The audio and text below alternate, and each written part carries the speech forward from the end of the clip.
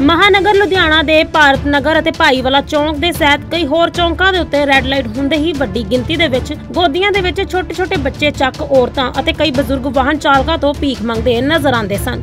ਵਾਹਨਾਂ ਦੇ ਅੱਗੇ ਬੇਪਰਵਾਹ ਖੜੇ ਹੋ ਕੇ ਭੀਖ ਦੇਣ ਦੇ ਲਈ ਲੋਕਾਂ ਨੂੰ ਮਜਬੂਰ ਕਰਦੇ ਸਨ। ਅਜਿਹੇ ਭਿਖਾਰੀਆਂ ਦੀ ਹੁਣ ਭੀੜ ਅੱਜਕੱਲ ਘੱਟ ਹੀ ਨਜ਼ਰ ਆ ਰਹੀ ਹੈ। ਇਸ ਦਾ ਕਾਰਨ ਇਹ ਹੈ ਕਿ ਪੁਲਿਸ ਦੇ ਵੱਲੋਂ ਭਿਖਾਰੀਆਂ ਦੇ ਖਿਲਾਫ ਸਖਤ ਕਦਮ ਚੁੱਕਣਾ ਸ਼ੁਰੂ ਕਰ ਦਿੱਤਾ ਗਿਆ ਹੈ। ਪੁਲਿਸ ਨੇ ਵੱਡੀ ਸੰਖਿਆ ਦੇ ਵਿੱਚ ਸੜਕਾਂ ਤੇ ਭੀਖ ਮੰਗਣ ਵਾਲੇ ਭਿਖਾਰੀਆਂ ਨੂੰ ਫੜ ਕੇ ਜਿੱਥੇ ਉਹਨਾਂ ਦੀ ਵੈਰੀਫਿਕੇਸ਼ਨ ਕਰਨ ਦਾ ਅਭਿਆਨ ਚਲਾਇਆ ਹੈ ਉਹ ਸੜਕਾਂ ਦੇ ਉੱਤੇ ਤੇ ਧਾਰਮਿਕ ਸਥਾਨਾਂ ਦੇ ਉੱਤੇ ਭੀਖ ਮੰਗਣ ਵਾਲੇ ਨਾਲ ਲੋਕਾਂ ਦੇ ਖਿਲਾਫ ਕਾਰਵਾਈ ਵੀ ਸ਼ੁਰੂ ਕਰ ਦਿੱਤੀ ਹੈ। ਖੜੇ ਲੁਧਿਆਣਾ ਦੇ ਭਾਰਤ ਨਗਰ ਚੌਂਕ ਤੇ, ਜਿੱਥੇ ਮਤਲਬ ਪਹਿਲਾਂ ਜਿਹੜੇ ਸੀ ਇੰਨੇ ਜ਼ਿਆਦਾ ਭਿਖਾਰੀ ਇਸ ਚੌਂਕ ਤੇ ਹੁੰਦੇ ਸੀ ਕਿ ਲੋਕਾਂ ਨੂੰ ਪਰੇਸ਼ਾਨ ਕਰਦੇ ਸੀ, ਉਹਨਾਂ ਦਾ ਸਮਾਨ ਵੀ ਚੁੱਕ ਕੇ ਲੈ ਜਾਂਦੇ ਸੀ। ਹੁਣ ਜਿਹੜਾ ਪੁਲਿਸ ਨੇ ਅਭਿਆਨ ਚਲਾਇਆ ਉਹ ਕਾਫੀ ਕਾਰਗਰ ਸਾਬਿਤ ਹੁੰਦਾ ਨਜ਼ਰ ਆ ਰਿਹਾ ਹੈ ਤੇ ਤੁਸੀਂ ਦੇਖ ਸਕਦੇ ਹੋ ਪਿੱਛੇ ਜਿਹੜਾ ਚੌਂਕ ਹੈ ਉਹ ਬਿਲਕੁਲ ਹੁਣ ਸਾਫ਼ ਸੁਥਰਾ ਦਿਖਾਈ ਦੇ ਰਿਹਾ ਉੱਥੇ ਕੋਈ ਭਿਖਾਰੀ ਨਜ਼ਰ ਨਹੀਂ ਆ ਰਿਹਾ। ਤੇ ਪਹਿਲਾਂ ਗੰਦ ਵੀ ਪਾਉਂਦੇ ਸੀ ਛੋਟੇ ਛੋਟੇ ਬੱਚੇ ਹੁੰਦੇ ਸੀ ਉਹਨਾਂ ਦੇ ਨਾਲ ਜਿਹੜੇ ਗੱਡੀਆਂ ਦੇ ਅੱਗੇ ਆ ਜਾਂਦੇ ਸੀ। ਤਾਂ ਮਜਬੂਰੀ ਵਿੱਚ ਲੋਕਾਂ ਨੂੰ ਜੋ ਹੈ ਕਈ ਵਾਰੀ ਭੀਖ ਤੇ ਖਾਣ ਪੀਣ ਦੀਆਂ ਚੀਜ਼ਾਂ ਵੀ ਦਿੱਤੀਆਂ ਜਾਂਦੇ ਸੀ। ਕੁਝ ਲੋਕ ਸਾਡੇ ਨਾਲ ਸ਼ਾਮਲ ਨੇ ਉਹਨਾਂ ਨਾਲ ਗੱਲਬਾਤ ਕਰਨ ਦੀ ਕੋਸ਼ਿਸ਼ ਕਰਦੇ ਹਾਂ ਕਿ ਜਿਹੜਾ ਪੁਲਿਸ ਨੇ ਅਭਿਆਨ ਚਲਾਇਆ ਹੈ ਜਿਹੜਾ ਇਹ- ਭਿਖਾਰੀਆਂ ਦੇ ਖਿਲਾਫ। ਲੋਕਾਂ ਨੂੰ ਸੁਥਰਾ ਕਰਨ ਵਾਸਤੇ? ਬਹੁਤ ਬਹੁਤ ਵਧੀਆ ਕੀਤਾ ਜੀ ਲੋਕ ਪਬਲਿਕ ਬੜੀ ਖੁਸ਼ ਆ। ਮੈਂ ਇੱਥੇ 70 ਸਾਲ ਦਾ ਰਹਿ ਰਿਹਾ ਮੈਂ ਸਾਰਿਆਂ ਨੂੰ ਦੇਖ ਰਿਹਾ। ਫਿਰ ਕਿ ਇਹ ਬੱਚਿਆਂ ਤੋਂ ਲੈਟਰਿਨ ਪਿਸ਼ਾਬ ਵੀ ਇੱਥੇ ਸੜਕ ਦੇ ਵਿੱਚ ਹੀ ਕਰੀ ਜਾਂਦੇ ਆ। ਇਹ ਤਾਂ ਸਭ ਤੋਂ ਵਧੀਆ ਕੰਟਰੋਲ ਹੋ ਰਿਹਾ ਇਹਨਾਂ ਦੇ ਉੱਤੇ। ਚੋਰੀ ਦੀ ਆ ਥੜਦੀ ਆ। ਤੇ ਇਹਨਾਂ ਨੂੰ ਤਾਂ ਹਾਈ ਲੈਵਲ ਤੇ ਆਉਣਾ ਚਾਹੀਦਾ ਹਾਈ ਲੈਵਲ ਤੇ ਤਾਂ ਕਿ ਇਹਨਾਂ ਚ ਬੱਚੇ ਇਹਨਾਂ ਚ ਮ- ਮੰਗਤਿਆਂ ਦੇ ਵਿੱਚ ਸੁਧਾਰ ਲਾਇਆ ਜਾਵੇ। ਕੁਝ ਲੋਕੀ ਅਜੇ ਵੀ ਜਿਹੜਾ ਸ਼ੱਕੀ ਲੋਕੀ ਜਿਹੜੇ ਨੇ ਉਹ ਪਾਰਕਾਂ ਵਿੱਚ ਜਮਾ ਨੇ। ਉਹਨਾਂ ਕੋਲ ਨਾ ਕੋਈ ਆਧਾਰ ਕਾਰਡ ਹੈ ਨਾ ਕੋਈ ਉਹਨਾਂ ਦਾ ਪਛਾਣ ਪੱਤਰ ਹੈ। ਤਾਂ ਉਹਨਾਂ ਦੇ ਖਿਲਾਫ ਕਿਸ ਤਰ੍ਹਾਂ ਦਾ ਅਭਿਆਨ ਹੋਣਾ ਚਾਹੀਦਾ? ਉਹ ਤਾਂ ਜੀ ਹੁਣ ਆਧਾਰ ਕਾਰਡ ਦਾ ਲਾਜ਼ਮੀ ਚਾਹੀਦਾ। ਉਹਨਾਂ ਨੂੰ ਫੜ ਕੇ ਉਹਨਾਂ ਨੇ ਇਹਨਾਂ ਦੇ ਜਿਹੜੇ ਸਟੇਟ ਤੋਂ ਹੈ ਉੱਥੇ ਵਾਪਸ ਭੇਜਣਾ ਚਾਹੀਦਾ। ਇਹੀ ਹੱਲ ਹੈ ਇਹਨਾਂ ਦਾ ਹੋਰ ਤਾਂ ਕੋਈ ਹੱਲ ਨਹੀਂ ਹੈ ਜੇ ਇਹਨਾਂ ਕੋਲ ਕੋਈ ਪ੍ਰੂਫ ਨਹੀਂ ਹੈ ਅਸੀਂ ਮੰਗਦੇ ਇੱਥੇ ਕੀ ਪਤਾ ਕਿੱਥੋਂ ਆਏ ਹੋਏ ਨੇ। ਵੀ ਸੀਆਈਡੀ ਲੈਣ ਆਇਆ ਆਰਮੀ ਦੀ ਸੀਆਈਡੀ ਲੈਣ ਆਇਆ ਹੋਰ ਕੋਈ ਕਿਸੇ ਚੀਜ਼ ਦੀ ਇਨਫੋਰਮੇਸ਼ਨ ਦੇਣ ਆਇਆ ਤੇ ਉਹਨਾਂ ਨੂੰ ਸਖਤੀ ਨਾਲ ਚੈੱਕ ਕਰਨਾ ਚਾਹੀਦਾ। ਕੁੱਲ ਮਿਲਾ ਕੇ ਇਸ ਵਾਰ ਪ੍ਰਸ਼ਾਸਨ ਨੂੰ ਸਖਤ ਕਦਮ ਚੁੱਕਣੇ ਚਾਹੀਦੇ ਬਿਲਕੁਲ ਬਿਲਕੁਲ ਪ੍ਰਸ਼ਾਸਨ ਹੋਣਾ ਜਾਂ ਜਿਹੜੀ ਸਟੇਟ ਤੋਂ ਆਉਂਦੇ ਆ ਉੱਥੇ ਉੱਥੇ ਭੇਜਣਾ ਚਾਹੀਦਾ ਫੜ ਕੇ ਲਿਜਾ ਕੇ। ਤਾਂ ਕਿ ਇਹ ਆਪਣੇ ਚ ਸ਼ਹਿਰ 'ਚ ਗੰਦਗੀ ਪਵੇ ਹੀ ਨਾ। ਮੈਂ ਤਾਂ 70 ਸਾਲ ਦਾ ਰਹਿ ਰਿਹਾ ਸਭ ਤੋਂ ਪੁਰਾਣਾ ਬੰਦਾ ਮੈਂ ਇਸ ਏਰੀਆ ਦਾ ਤੇ ਸਭ ਕੁਝ ਮੈਂ 70 ਸਾਲ ਦਾ ਦੇਖ ਰਿਹਾ। ਹਾਂਜੀ ਅੱਗੋਂ ਦੀ ਵੀ ਉਹਨਾਂ ਨੂੰ ਪੈਸੇ ਮੰਗਣ ਵਾਲਿਆਂ ਨੂੰ ਨਹੀਂ ਖੜਾ ਹੋਣਾ ਚਾਹੀਦਾ ਤੇ ਉਹ ਠੀਕ ਹੈ ਜੀ।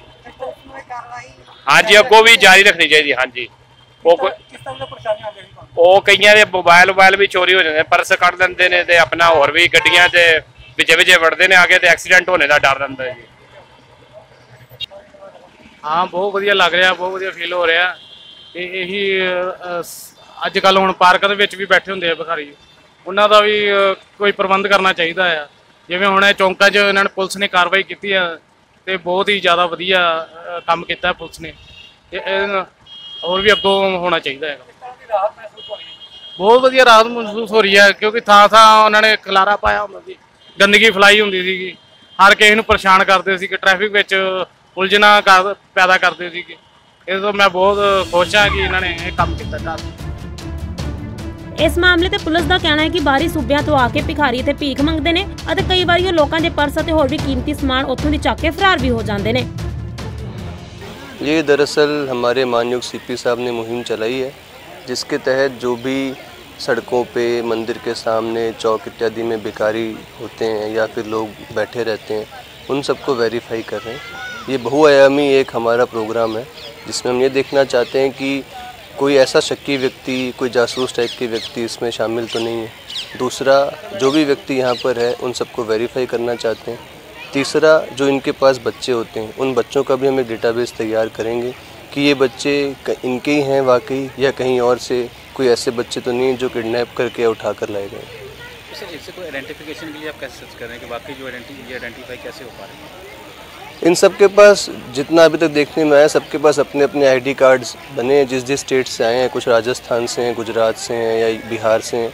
तो एडल्ट के पास अपने अपने आईडी कार्ड हैं और इनकी फ़ोटो वगैरह लेके उस स्टेट से भी कंफर्म कर सकते हैं।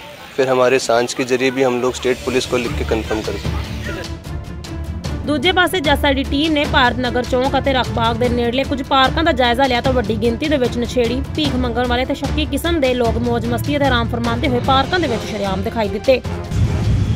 अरे तुम्हारे पास कोई अपना पहचान पत्र आधार कार्ड वगैरह है यहाँ पे नहीं म्यूनसिपलिटी ऑफ़िस वाला बना देंगे बोला था नहर के पास में अभी नहीं है नहीं वो बोला दिन भर बैठना पड़ेगा तभी हो सकता है अब तुम यहाँ ऑफ़िस में नहीं यहाँ पर बैठे हो तो वहाँ पे जाकर क्यों नहीं बनवाते हो दिन भर यहाँ भी तो बैठे हो अच्छा तो मतलब पुलिस वालों ने या किसी ने तुम्हारा आधार कार्ड या चाहिए नहीं। चाय पानी खर्चे ये सब अरे पुलिस पुलिस वाले आए थे आपका कोई मतलब कार्ड वगैरह चेक किया किसी ने यहाँ पे ऐसे पकड़ कोई नहीं आया ये कमांड करते बोल के एक बार सर सर ने गाड़ी रोक कर देखा हम्म। अरे करो कोई कोई बात नहीं नहीं अभी हाल फिलहाल में कोई चेकिंग करने वाला नहीं आया ਲੁਧਿਆਣਾ ਤੋਂ ਕੁਲਬੀਰ ਆਹੀ ਦੀ ਸਪੈਸ਼ਲ ਰਿਪੋਰਟ ਦੇ ਨਾਲ ਬਿਊਰੋ ਰਿਪੋਰਟ ਦਾ ਟੀਵੀ ਐਨਆਰਆਈ